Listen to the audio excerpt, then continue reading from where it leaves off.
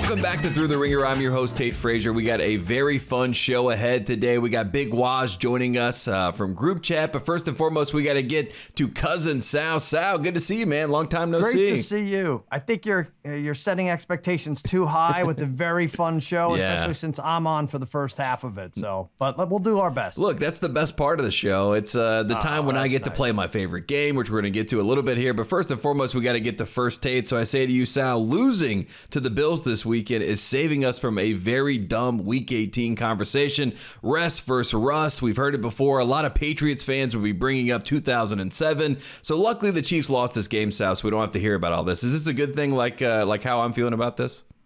I know what you're saying, and I'm not saying they tried to lose that game, the Chiefs. Of course, they're very competitive, and nobody wants to see those ancient Dolphins from the early 1970s pretending to drink champagne when their record isn't broken, when someone finally loses.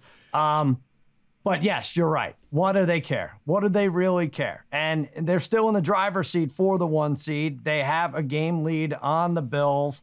You know, the Bills have the 49ers, Rams, and Lions. If they take two of the three, they're in okay shape. But the Chiefs have your Panthers. Maybe the Chiefs were looking ahead to your Panthers. No one's ever said that, right? That Yeah. could be it. They could have been looking ahead on the schedule. So, and even if they do fall behind and get a second seed, we've seen them do it on the road in Buffalo specifically. So it's not the end of the world. And I don't think Andy Reid is treating it as such. And it took a lot of pressure off their backs. Even Travis Kelce leaving the game with a little clap to the crowd in Buffalo. It almost felt like when your little brother beats you in something for the first time as the big brother, and uh, you're almost too nice about it, and it doesn't feel like you almost earned it. But the Bills fans will celebrate nonetheless. Another one. I don't know where Kelsey gets uh, that vitriol. He Yeah. reaches down ever since he's met met up with that girl. I don't know. I forget her name, but boy, uh, the worst comes out in him. Yeah, it seems like he's changing uh, in real time. So I don't know what's going on. Uh, another first Tate for you. Uh, speaking of changing, I think changing teams is ahead for this quarterback.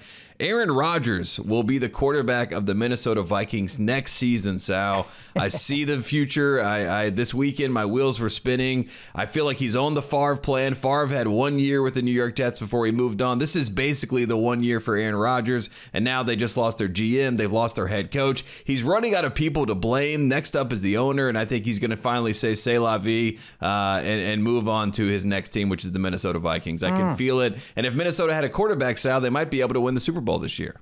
Yeah, sure. But I don't know if it's the Vikings. I don't think he believes in Vikings. He doesn't believe in seafaring warriors from Sca- Scandinavia. He's done the research. He's told us so many times he's done the research. This guy really did it. He really crushed that whole organization, that Jets organization. Talk about draining the swamp.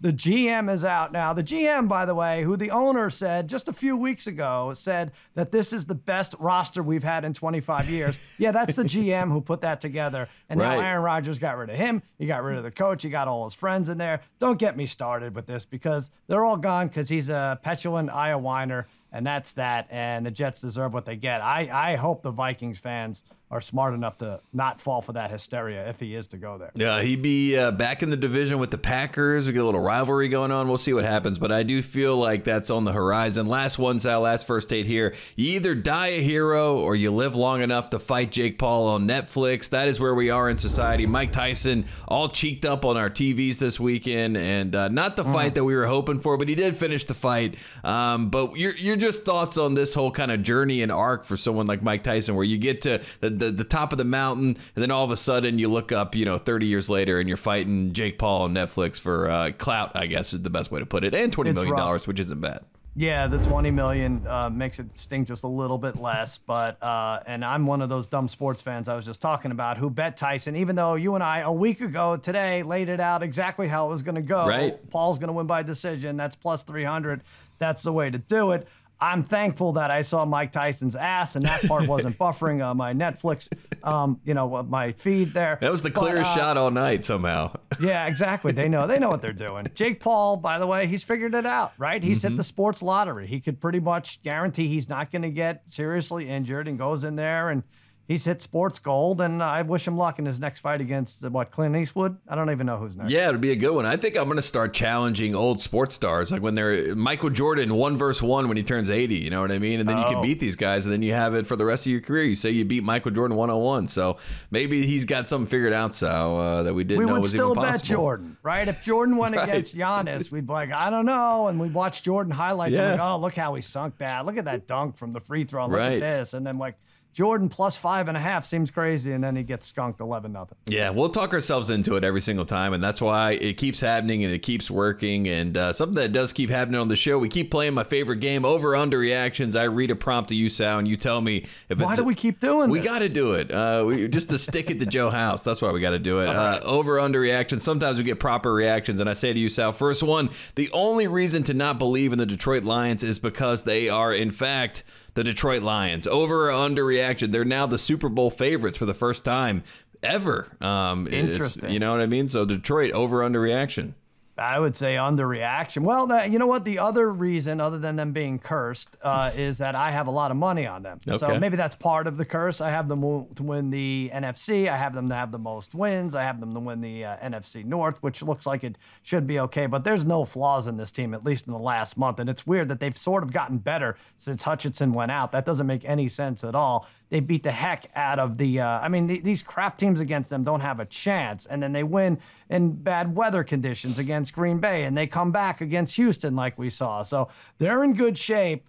Um, you know, I, I think they they're just going to dominate the rest of the way. And uh, yes, they lost in a weird fashion to San Francisco in the championship game last year, so that's where the curse sets in. But maybe maybe they've overridden that. Yeah, and Danimal, Dan Campbell is having a great time uh, running up the score on these teams. So the Detroit Lions, they are getting the full redemption from, you know, they go from the 0 and 16 season to where they are now. It has been quite the journey for Detroit fans. Happy for them. Next up, Sal, I say Josh Allen's touchdown run was, in fact, the play of the year, as called by Jim Nantz. A lot of people doing revisionist history, but in real time, fourth down to beat the undefeated team in the league. I think it was a pretty big play. Over or under reaction? What say you, Sal? Well, I say I can get a I can get a first hand account of this because I'm talking to Jim Nantz tomorrow. It'll be on Yeah. Cousin Sal's winning weekend. Right. I'm going to ask him about this tape, but I think he's right without even asking him. It's like, yeah, this was the biggest play of the year. You could go about. I know they want to say Bears and Washington Hail Mary, but that's going to be inconsequential as we see it. Washington will make the playoffs. The Bears won't, but this is big. This is knocking off. As much as I don't think the Chiefs needed to go undefeated, this was this had consequence to it. And not to mention, Jim Nantz is probably freezing. Everybody wants to get out of Buffalo. He's just happy to go- home. Yeah, and if Kansas City is playing, you know, in Buffalo in the playoffs because they are the one seed, uh, you know what I mean? That's going to be very consequential. So it goes back to what we're saying, player What of the about the Cowboys' fake punts? Those weren't the best plays of the year. I mean, uh, there's two you could choose from. Right. So there's- many. I think when the ceiling was falling was the player of the year or the dodge of the year. Who knows? Uh, next up, Sal. Bingling. Uh, Bingling is the new chargering, is what they're saying. Over or under reaction. Obviously, uh, two unstoppable franchises or very stoppable franchises, whichever way you look at it, this weekend on Sunday night battling it out, but the Chargers come away with the win. Over or under reaction.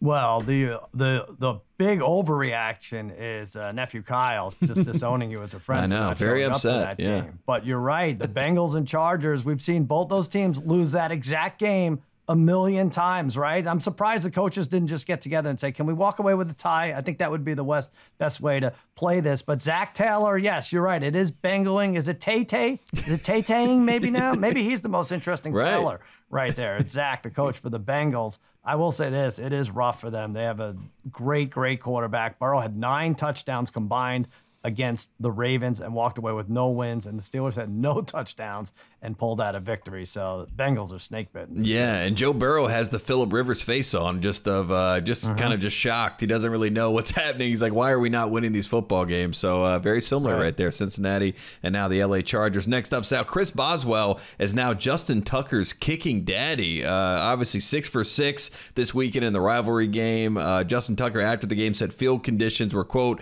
not ideal. Over or under reaction. Your thoughts on Boswell versus Justin Tucker? Ideal for the other guy who went six for 6 in, Mm-hmm. in field goals. So I don't know how, but maybe the, just where the T was, where the they're not even using a T. I have no idea what happened here with Tucker. Maybe he's just not good. Uh, I'd say underreaction because I don't know if that he's specifically his daddy. He might have 29 NFL daddies right now. Justin Tucker better than him. He has a lot of cards to send out in June for Father's Day.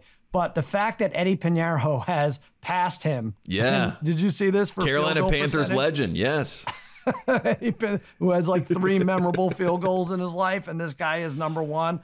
Um, I, I just, uh, bigger point. I don't know how the Steelers are winning games like this in 2024. Tomlin should be coach of the year, and I know I'll change my mind about 45 times between now and January, but that's what I'm going with. Yeah, I think uh, anyone hurting Justin Tucker's Hall of Fame, uh, you know, kind of Yeah. uh, pitch here is a is a winner. So Mike Tomlin is one of those guys. Next up, under five and a half NFL head coaching jobs will be available at the end of the season. The most we've ever seen is ten. That is the record. And uh, over underreaction. What say you, Sal?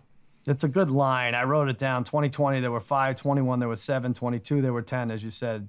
Last year, or 23, there was five. Oh, 24, that counts as this year. It was eight. Mm-hmm. Anyway, I'd go over Jets, Jags, Cowboys, Bengals, Colts, Dolphins, Panthers, Giants. I think six of those eight will definitely need new skippers. And I'll tell you what, I think Matt Gaetz is the man for the job if he's not busy. Put him anywhere. Right. Right? And there's also the situation where we did have the holdover guys from last year, guys that we thought would get fired, like an Eberflus with Chicago. So Right. there's guys that are basically dead men walking at this point that are head coaches in the NFL. So the numbers will get juiced because of those guys being holdovers. Next up, Sal, going to a game at AT&T Stadium in Dallas is more thrilling than a trip to Six Flags. Obviously, we didn't see this weekend a lot of chicanery happening there. Over or reaction. Your thoughts on AT&T Stadium? I love it. Yeah, Six Flags. Is Jerry handing out flash passes to Yeah, skip the line? of I course. Can you skip it and get to hit get hit by debris? I mean, it's not bad enough the sun is in everyone, including the players' faces, and now there's flying debris you have to worry about. But look, if the product on the field is disgusting, you might as well make it a little dangerous for the fans. and Right. Add some excitement, right? Some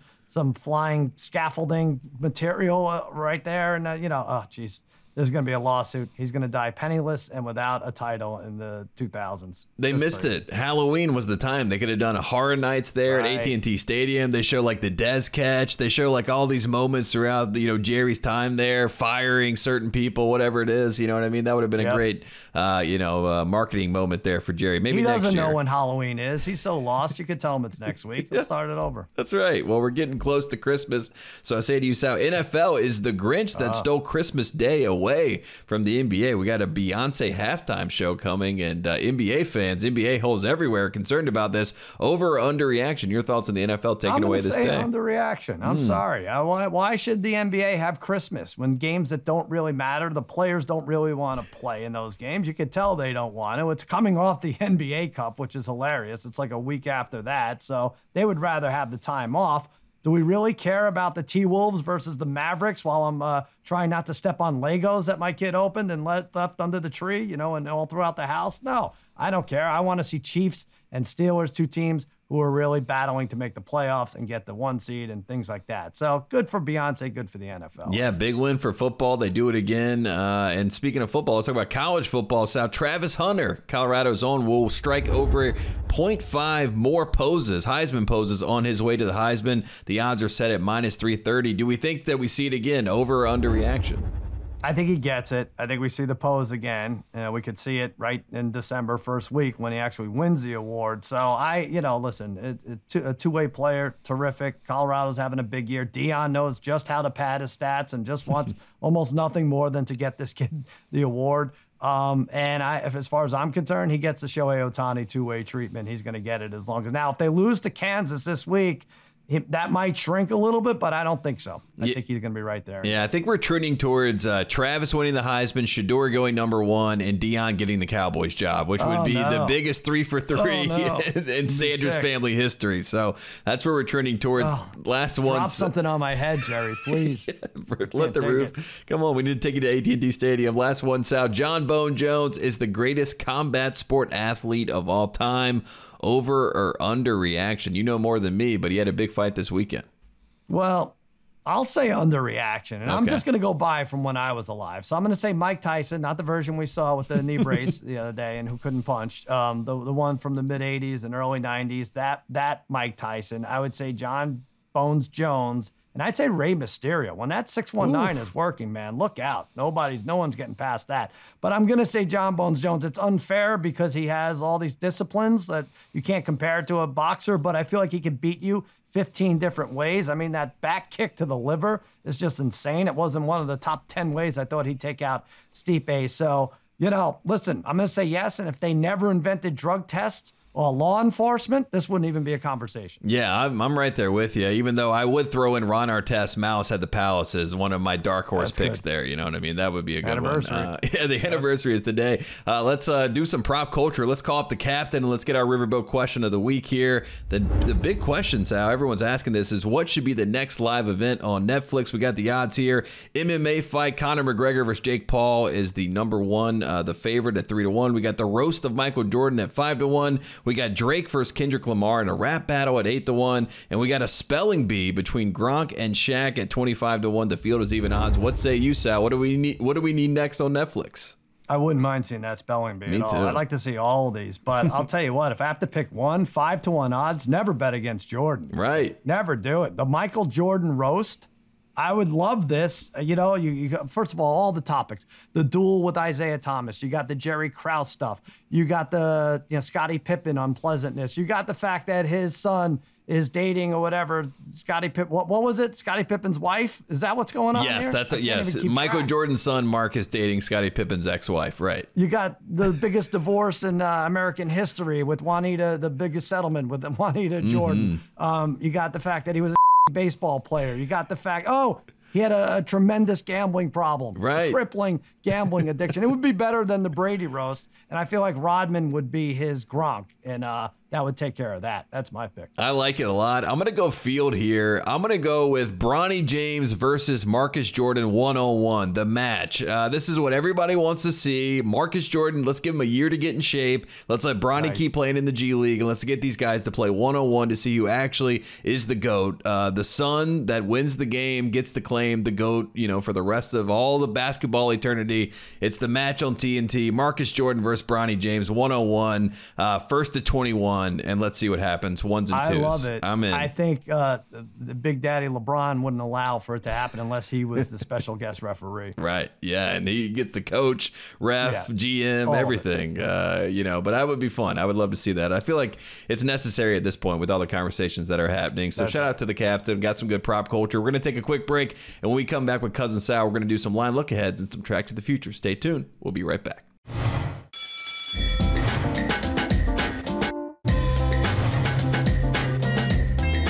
Welcome back to Thru the Ringer. I'm still your host, Tate Frazier, and we are here with Cousin Sal, and we are trying to make sense of what's happening in the world of sports. It's always a I, fun I like, time. I like how you say, I'm sorry. You say, I'm still your host. Like, oh my God, no, something I, horrible happened over the, the commercial break. That's uh, the bit. Who knows? the Sky Rizzy ad for the 5,000th time today. Tate was replaced by uh, Bryan Curtis. I think what, year three, I'm going to have someone slide in here. Uh, maybe I have you take over the hosting duties and we have some fun with it. That's the bit. It. You never know if it's going to be me on the other side, but I am back here and we get to talk about Thursday night football. Very fortunate to do this.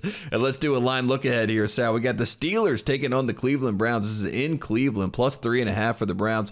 Total 35 and a half. Uh, a chance here for a Pittsburgh letdown game. Just flagging that for all the people. But Thursday night football is a little wacky, a little wonky, dare I say. Say, but what do you like in this one, Sal? This is a tough one for me because on Sunday night with Simmons, I guess like five and a half or something. And it, I still think it should be that high after watching these two teams play for two months or whatever it's been, but it is three and a half. And I get it a little bit. It's a division game. You're talking about a bruiser. The Steelers had a real bruising game against the Ravens. And Jameis, by the way, is still hugging ex teammates on the field in the Superdome. So they're definitely different. Last year's games were decided by a combined seven points. So you might say that that's why also it's low. Uh, probably a stay away for me, except for the Sal Steel City special, mm-hmm. which is Browns first half. Steelers win the game. We'll pay close to eight to one this week. Yeah, I feel like the letdown happens in the first half. First half, which is why I feel like the Steel City special is definitely in play, Sal. And you also like a player prop in this game on the Pittsburgh side of things, correct? I do. Pat Freiermuth, uh, over 18 and a half yards. He's gone over 18 in 10 of his last 13 games. He's averaged 33 and a half over that span. The Browns allow 47 plus yards to the lead tight end in three of their last five games. We're just looking for 18, not 47. I don't even know why I said that number. We're going to get it Thursday night, Tate. Fans aren't booing, you know. They're yelling Muth Mm-hmm. Although they mm-hmm. might not be yelling that in, in Cleveland. I can't wait till he has 47 yards and we pull this up and we, we do the Nostradamus thing. I'm like, Sal was seeing the future. He knew what was going to happen. Uh, you love the race to 10, Sal, in basketball, and I like the race to 10 in football this weekend, in mm. this game in particular. I'm going to take the Browns race to 10 at plus 130. You can find this on FanDuel right now, but I just feel like the Browns get out to an early lead. Jameis scores an early touchdown. It's 10 to 3. Cleveland fans are getting excited. It, you know, it's all kind of setting itself up for the Steel City special, as you mentioned at the top here. So uh, the race to 10, I like the Browns, but I like the Steelers to win I the like game. It. So have you, you tried race to 69 in the NFL? It's kind of boring. You don't know. the Lions are the only team that gives you a chance. Right. That's what I need the Danimal to, to get us there. But, uh, you know, we'll see what happens. It works in college basketball. We need to get that uh, on the FanDuel site. We'll see if we can get there. Uh, let's track to the future here, Sal. Let's talk about the 49ers' uh, chances to make the playoffs. We got the odds here. Yes is plus 168. No minus 210. Obviously, a team that a lot of people like this year to come back get back to the Super Bowl, and potentially win the Super Bowl. Now trying to you know get into a position to just make the playoffs. But what do you like here? Do you like the the Niners to make the postseason? Well, I'm going to do a complete 180 from where we were last week when I said San Francisco is going to beat Seattle and pull away from the division. They're going to start, um, and then they really look like crap. They can't close these games out, and so I'm going to say no, Tate, at minus 210. That lost to Seattle left a terrible taste in my mouth. So um, listen, Deebo Samuel, not as scary a player. You got Kittle almost always injured. Uh, you know, Aiyuk is out. That offense isn't doing it for me. Brock Purdy now has a shoulder injury, so I'm not sure even where this team is. Uh, Purdy, by the way, in the last two games hasn't attempted a pass 20 or more yards. And now Bosa's out or day to day. So this is a rough one. They're at Packers, at Bills, Rams, Dolphins, Cardinals. They have a tough slate. I think they have to go five and two the rest of the way. I don't think they're getting there. Yeah, and it does seem like Shanahan is very frustrated this season. Every time they show him on the sidelines, it just feels like uh, he's just getting smacked in the face yet again. And, uh, yeah. you know, I feel bad for him over there. But the 49ers, that could be a team, dark horse team, that could go after the services of a quarterback. Uh, you know, I know I mentioned the Vikings at the top, but who knows? If they turn on Purdy, Sal, you know, Mr. Irrelevant, there's a chance they could go for, uh, you know, a guy like. Why are you trying to kill Kirk every Cousins? NFL franchise? No, I'm just. Rodgers? I'm what? just trying to. I'm just doing some Come matchmaking on. here, trying to figure out, you know, Kirk Cousins has obviously been the apple of Shanahan's eye for quite some time. He can opt out or get traded out of Atlanta. I don't know. I'm just saying there's some options for the 49ers if they do want to make some changes. But again, this is all next year. Uh, let's move from the NFL to college football. The upset special, Sal. We have been trying to get this together. Uh, you got it going uh, for a little bit here. You got a little bit of a rhythm. Um, I have been absolutely abysmal. I've been so bad that our you know overlords here at FanDuel they have banned me from making a pick. They they have really? said they do, do not want me. Want you to well, tell people who to, who's going to lose? I yeah, think they're just trying. They're making too much money, Sal. At this point, they're saying, uh, "Please stop. We we can't do this. We can't keep diving in all the gold coins that you're bringing in." Uh, this week football, college football upset specials. Who do you like, Sal? Well, yeah, you like you said, I've, I've I think I won my first four. Right. did this in the beginning of the year. Now I've lost three in a row, and this is why you just have to walk away from the table when your chips are stacked. I should have walked away from sports gambling altogether, Tate, three weeks ago. But I'm going Gators over Ole Miss. They're five and five, but I think they're a little better than that. Florida. They handed LSU a double-digit loss. Freshman DJ Lagway came back after his injury, did pretty well, 220 yards and a touchdown against LSU. Didn't make mistakes. I think this is a shootout. Jaxson Dart falls short in a last possession type game. Give me Billy Napier's Gators to keep their bowl hopes alive. I think you get about plus 260 on that. Yeah, plus 275 now, Sal. Wow. So it's even moving in, in, the right direction for you. Also, it's one of those things where good news for Florida and Ole Miss, no matter who wins or loses, you're both going to make the playoffs. Uh, that's how it works now. So I think everybody in the SEC, right? They just get to go wow. to the playoffs. So that's uh, a five and seven Florida team. That would be interesting. Congratulations, Florida. You're in the playoffs. Yeah. I mean, you're better than everybody else, obviously, because you play in the SEC. Congratulations. Uh, I did say I've been banned, uh, but I'm going to go against my heart here. I'm going to take oh, Boston oh, College college Okay. Uh, you know what I mean? Money line this weekend against my Tar Heels, Sal. I feel like this is a smart play. Uh, my heart would say take Carolina, but my head is saying to take Boston College. If you've been keeping up with the college football upset specials, probably the time to fade me. So maybe take Carolina. I don't know where you land on this, but just putting it out there. Um, it's a nice emotional hedge for you. yeah, something there. I can I can make something work. And uh, I mentioned the SEC before. Let's do a track to the future here, Sal. Tennessee to make the playoffs again this mm. year. We have 12 teams in. Uh, is minus 160. No plus 128. Obviously, Indiana playing at Ohio State this weekend. That's going to answer a lot of these questions about the Big Ten and you know how some of this stuff is going to shake out. But your thoughts on Tennessee? Do you think they get into the playoff?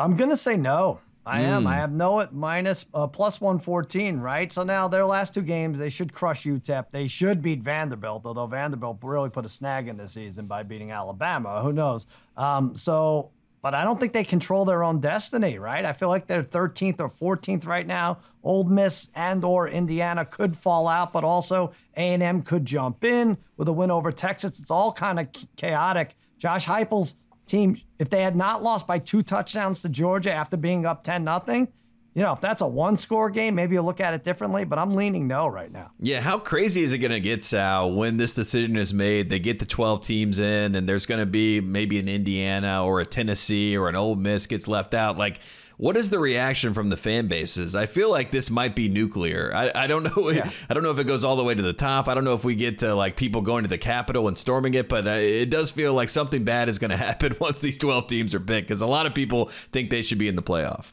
Yeah, they're probably going to take the goalposts, light them on fire, right. and carry them to the city hall and go right through the front steps, right through the doors. Yeah. There. But yeah, listen, I, I, think the SEC fans, I know what you're getting at. A lot, a lot of crybabies on that side, mm-hmm. and they don't realize that you have to take a Big 12, you have to take an ACC, and you have to take what a Mountain West, right? Those three. So that's right. three slots plus Notre Dame is going to be eaten up. Plus, you're not going to win the SEC, so there's going to be an SEC winner and a Big Ten winner. So I, I, don't know why they think they can get like seven or eight teams from this conference. Well, they want seven, and they expect seven, and uh, the backlash from not giving getting seven is going to be hilarious. So I, I am okay. going to sit there with my popcorn and watch all of the chaos play out. It's going to be a lot of fun. Poor uh, committee members, I know they're going to be getting a lot of uh, emails and messages and all types of stuff. So uh, right. you know, just uh, if you have any of those people in your life, pray for them. Uh, another track to the future here. So NFL Offensive Rookie of the Year, Jayden Daniels, obviously is running away with this a little bit but it is trending back towards uh, you know the other direction. Minus 550 right now. He was minus 600 at the start of the day. Bo Nix is sitting there at plus 400. Who do you like for offensive rookie of the year, Sal? Yeah, Bo was plus 1200 before week 10, and now he's down to plus 400. But this is tough for me. It really is. I'm torn because I come from a Duck family. My kid goes there. You know, he's a sophomore. I should be pulling for them. But my preseason pick was Jayden Daniels at six to one. So mm-hmm. I want to take that money I win with that and then pay some of that duck tuition, right? So I don't know. Right. It's interesting. The fact that both Denver and Washington are over there, Washington's way over their preseason projected win total, uh, is pretty good. We're talking middle November right here. But the Broncos tape play the Chargers and Bengals back to back in December. If they take both of those, I think that's Bo Nix' path to win this award. I can't believe we're having the conversation where Bo Nix, Bo Nix could backdoor his way into the Offensive Rookie of the Year, but that just says something about how long this season is in the NFL and the fact that if you got a head coach like Sean Payton, sometimes things work out for you. Doing a great job. Yeah, yep. doing a great job. He could be in that conversation for Coach of the Year. Who knows? Line look ahead. Uh, let's do an NBA one quickly, Sal. Suns at Knicks. Uh, the opening line is around minus five and a half here for the Knicks at home in this game. Knicks Knicks trending in the right direction. Karl Towns is playing a little bit better, especially on the offensive side of the ball. Who do you like in this one, and uh, what should we expect uh, in this game, Sal? Suns are a weird team, right? They've mm-hmm. lost four in a row, I think. I think they're 17th offensively, 21st defensively, but they're going up against what should be an exhausted Knicks team. Or Thibs is already running these guys into the ground. Not so much Towns. I think he only had 25 minutes, but I'm going to go with Phoenix to pull this out, at least by the spread, getting a few points. I think that'll go lower as game time approaches. They're seven and three against the spread and five and two on their home court. Give me a Tyus Jones night um, to remember and the Suns cover and maybe even win. Yeah, it does feel like the Suns came out great first impression, uh, and then they started patting themselves on the back, and then things went sideways a little Right. bit, and now they're trying to get back on track. So I like that pick there. Last thing, Sal, before we let you go, the Tate debate this week. I say to you, Sal, the art of the touchdown celebration is losing its luster. It's kind of like film, you know, the film industry. Too many remakes. We've seen it before. It, it doesn't hit the same. Uh, you know, I saw the first Mr. Deeds. I don't need to see the second one. That sort of angling is where we're getting at. And we saw it with Ja'Marr Chase uh, cleaning up the ball, the baby uh, celebration, the same thing that we saw from Steve Smith from quite a quite a while ago. Steve Smith did it properly though. He threw away the rag after he wiped up the baby. Uh, Ja'Marr Chase, he threw the football, so he literally threw the baby uh, in his celebration, which is He executed the baby. yeah, it's a, big little bit. It kind of shows how dark we've gotten in our times. Right. But uh, I think with the, the touchdown celebration is trending down. Sal, uh, do do you agree with me, or do you think there's a chance where we get a little bit of a revival here? It's funny. I got like 20 years on you, and you're the curmudgeon here because I think I don't mind the recycled comedy. Listen, We get recycled comedy in comedy. We have mm-hmm. comedians going city to city, right? We have bands doing the same songs they've been doing since the mid 80s. So I feel like, and Ja'Marr Chase had 39 touchdowns. You have to kind of double up on stuff once in a while. You know, you're, so you're not going to go see Gladiator 2, Tate? I'm, I'm just saying, like this is uh this is all what we've seen before. Well, I'm gonna go see Gladiator 2, so maybe I'm a hypocrite now uh, because you know, as I said, there's there's too many remakes. You know what I mean? I'm gonna go see one, or I guess it's not a remake, but you know, it's an adaptation. that's it's a, you know, it's the, the story continues, whatever you want to call it. But uh, shout out to Steve Smith. I like the original Sal. That's all it is. I like the originators. You It know, was like the Panthers' only touchdown that year. That's why you're excited. It was a great one too. We all remember it. That's that's all we need. I liked when he did the uh, unguard with the fencing, you know, with the football. That was a Right. great. Steve Smith, great guy for celebrations in the end zone. He's one of the best. Uh, Sal, you got a big show this week. Jim Nantz, uh, promote that for the people, and then we'll let you go enjoy the Jim rest Nantz of your day. on, yes, Cousin Sal's winning weekend Friday morning right here on FanDuel TV. We got Against All Odds on the Ringer Podcast Network and the Ringer pregame show Sunday. It's the best of times. Sal, you're the best. Thanks so much for coming on the show. Stay tuned. Stay right there. We'll be back on the other side of the break with Big Waz. We'll see you then.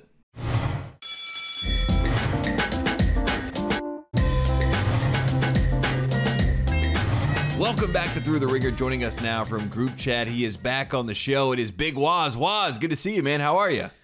I'm good, man. Can't complain. I think this is the first time I'm seeing your your home studio Oh, set yeah. up. And and that pink picture, it says Royal Tenenbaums, but I thought it was somebody else, man. Perhaps a, a two time president elect. Oh no.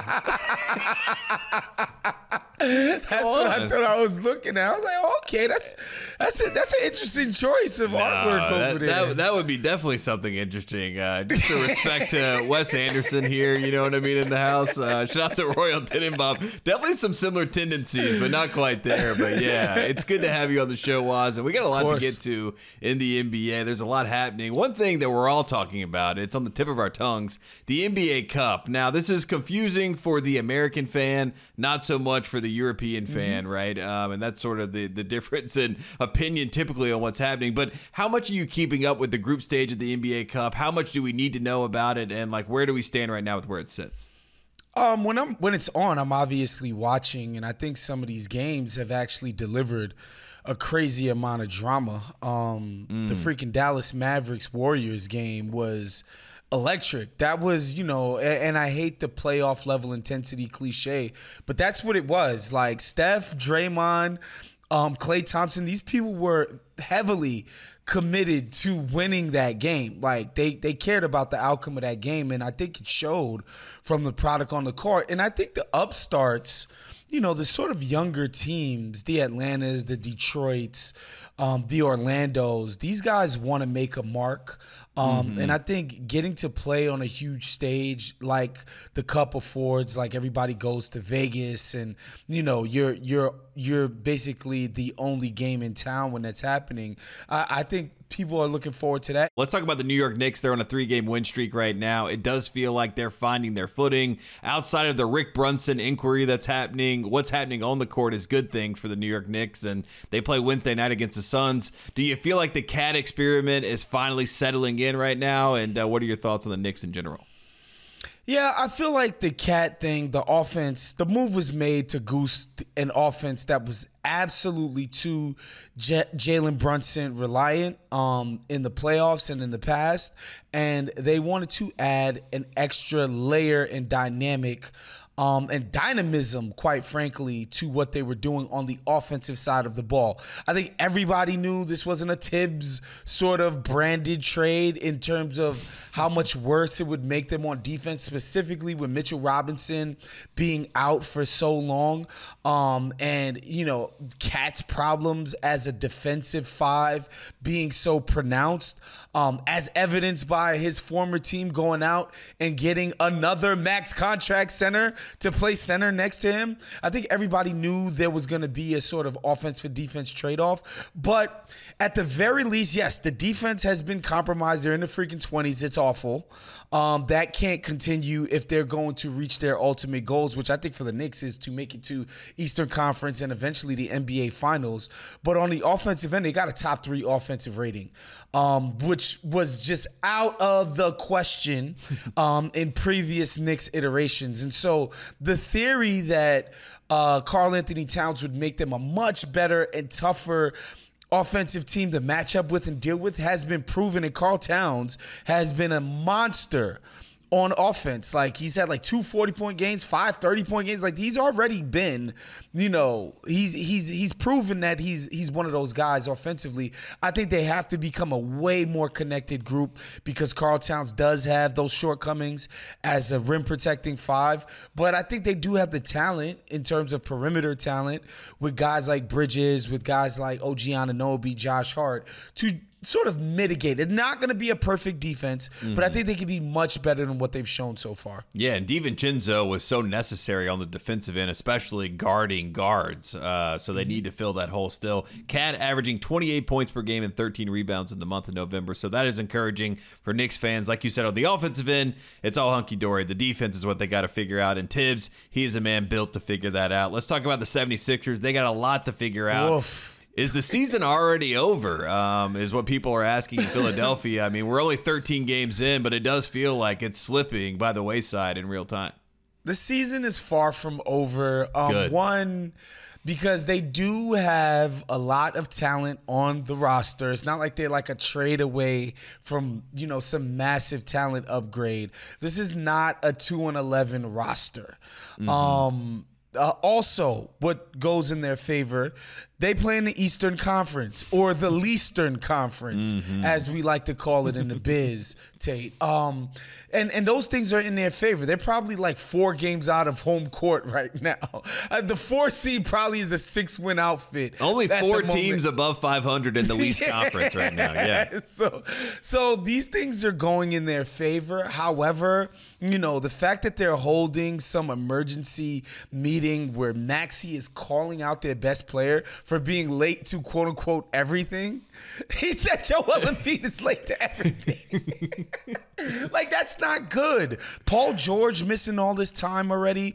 That's not good. We know Joe Embiid has to ramp up in terms of his conditioning, and you know there's always just a lingering injury concern. And now Maxey turns up with a hamstring, which happens to be a usage injury, mm-hmm. right? Like these muscle injuries are heavily tied to you know the wear and tear sort of thing. So yeah, the the season has started about as piss poorly as could have been imagined, but I, it's just hard for me to think that these guys are in grave danger of not turning this around at all and being just like a, a, a lottery basement dwelling team. Like they're too talented for that to be the case. And Maxey said to the people, "quote Don't give up. I believe in this team." Maxey is a very positive guy. Always has a smile on his face. For, Love him. For him to be the one in this meeting calling out Embiid, maybe that is the spark that gets things going for the Sixers. We'll see what happens. Like you said, in the East, anything is possible because there's not that many good teams. Another team that is trying to claw their way back into the conversation, the Milwaukee Bucks. Giannis is leading the NBA in points per game right now. They just got a big win the other night. Um,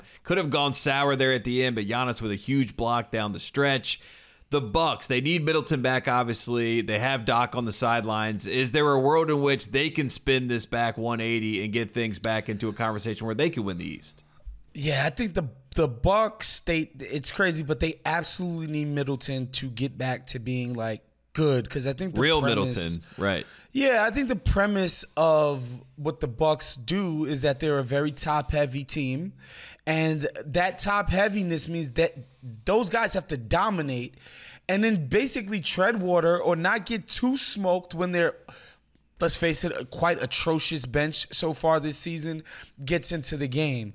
Um, I, I, think the problem for me when watching him, a lot of this stuff just doesn't feel like it's very sustainable. That it's part of some overarching theme of who the Bucks are and what they do at this juncture.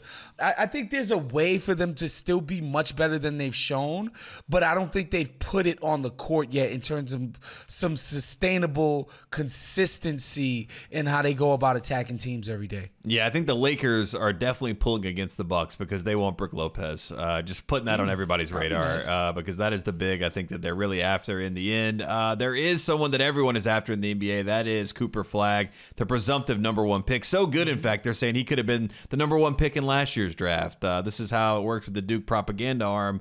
Um, but let's let's let's say, for example, some of these teams want to capture the flag. Uh, do we see that happening? Is there some teams that maybe sell uh, high to get in a position to get a guy like Cooper Flagg in the East? Uh, because there aren't that many good teams, as we mentioned before. I think all the flag teams are sort of already, you know, they've they've already got the their arms. yeah. yeah, the jazz, the jazz. It's so hilarious because the Jazz are finally like making themselves into this piddling team that they should have been doing for like two years now. They've been mm-hmm. overachieving. Um, but yeah, Cooper Flagg, they're like, all right, let's get serious about getting in the business of making right. that happen.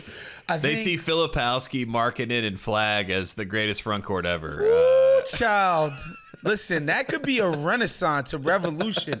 I think our country is ready for that type of Royal revolution. Tenenbaum would like that front court. That's for sure. If, yes, for goddamn sure. If the last few weeks are to be um, understood, um, yeah, obviously the Jazz. I think the Nets have been overachieving so far, but they're like literally mm. one trade away of trading one of their veteran guys from this thing being like, yeah, pure, you know, dregs of the league. Those those seem to be the two most serious outfits when it comes to um, capturing the flag. Yeah, and Cooper Flagg is probably doing his fingers crossed right now, saying, "Please, please, please, don't send me to Charlotte." Uh, we're gonna take a quick break. When we come back with Waz, we're gonna talk about inside the NBA getting a new home and the rest of the happenings around the NBA. We'll be right back.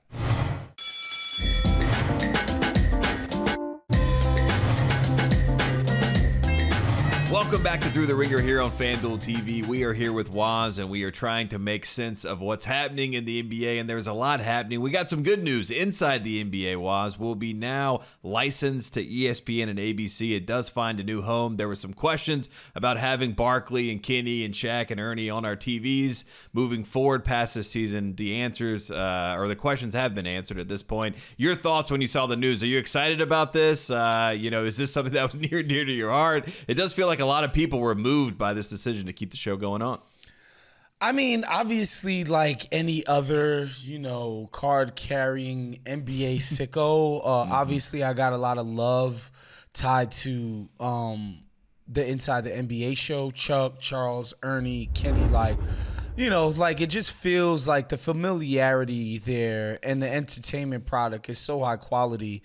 Um, yeah, I'm super happy that it got to come back. I think it's a win for everybody. Speaking of wins, the Lakers are winning a lot of games. Uh, you know, over the past month, LeBron James has been averaging a triple double, also the most minutes on this team. Is it time to believe in the Lakers as a real contender, or you know, do we fall into sort of the same trap that we did last year with the in-season tournament? Where do we stand on you know, kind of a month into the Redick experience with this Lakers team? I think the Lakers are it's fun that they have an actual offensive identity. Um, the centering of AD, which has been much long threatened, um, but never seemed to come, never seemed to materialize, has finally, finally happening in an actual tangible way. And AD is playing like an MVP candidate because of it. Um, I think the defense is still problematic, uh, which is hilarious to me because I was told that Darvin Ham is a complete moron and idiot because he was switching up the lineups to start last season because these guys could not guard anybody, um, specifically on the perimeter. They were just getting smoked at the point of attack. And lo and behold, JJ Redick takes uh, D'Angelo Russell out the starting lineup because why? Because he's stinging it up on defense. I think they're gonna have to figure something out with the perimeter defense, and I don't think they can be a real contender until they like really, really figure that out. But offensively, just the cohesion and you know, just the fact that they have a definition of who they are and and what they want to do on a night to night basis, and the fact that it doesn't always have to be LeBron slicing people up and picking roll. Like Austin Reaves is a like a level B plus level mm-hmm. pick and roll operator now. Like it's not Bron and AD have a have had a complete mind meld in the pick and roll basically since the day they stepped on the court together. Now AD is developing that with Austin Reaves. Like the fact that they could take turns killing defenses with that, um, so much more movement and actions that they're running. Like, yeah, it's cool to see what they're doing on offense. But I think ultimately, man, if they're going to become a serious outfit, uh, they're going to have to shore up that point of attack defense. Yeah, the accountability I like from JJ Redick, and you mentioned D'Angelo Russell has been the prime example of that so far this season, whether it's bad shots, bad turnovers, not, you know, giving the effort on the defensive end. Those are good things. And I will say, when the NBA is getting the ratings conversation as we've seen over the first month, they do like to go back to the old well, and the well is Boston Celtics versus the LA Lakers in the NBA Finals, and uh, you know what I mean. Just just putting that out there. So uh, the writing is right there on the wall. We'll see what happens. I do want to talk about the Warriors. They got Jerry Stackhouse, my guy, helping on the defensive side second best defense in the NBA behind the Thunder right now. They look really good. Uh, they're having a lot of fun. Currently 10 and 3, second in the West. Your thoughts on the Warriors? Like, is the window still open? Because it looks open when you watch Steph Curry with this team.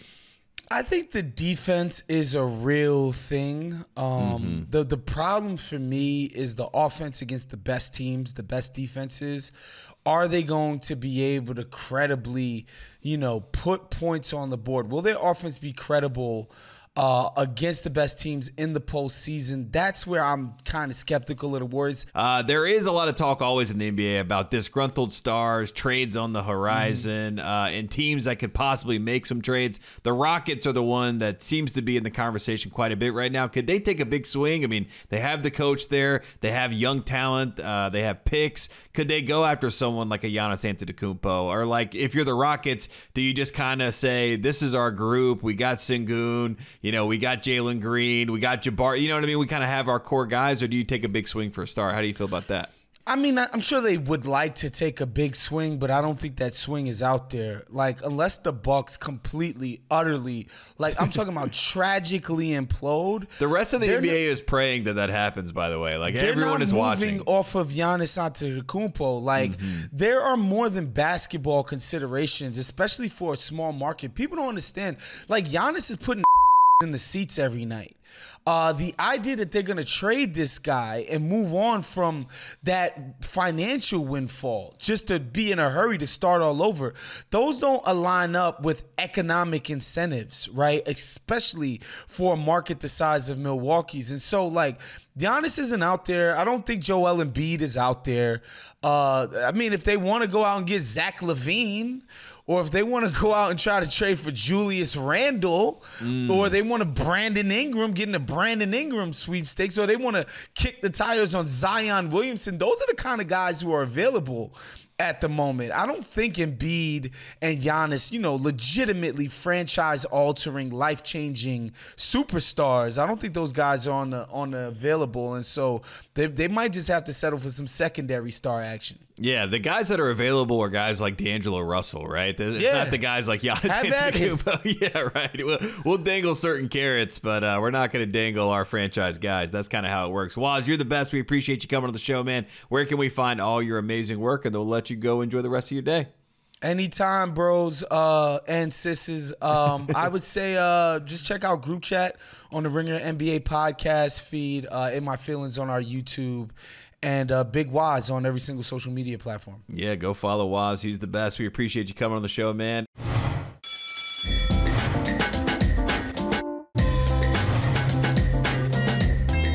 All right, there you have it. Another edition of Thru the Ringer. We appreciate Cousin Sal as always, and thanks to Big Waz for coming on the show. We appreciate you tuning in to Thru the Ringer, and we will see you next week.